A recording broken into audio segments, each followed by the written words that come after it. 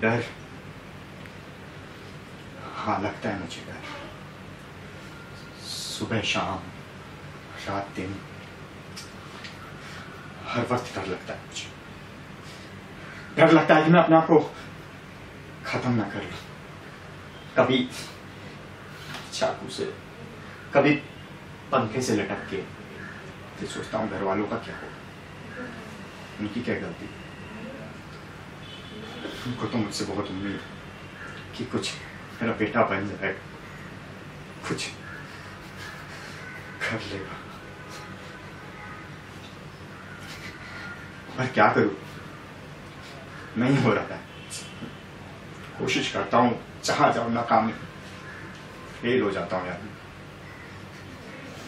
तू बता भाई मैं क्या करूँ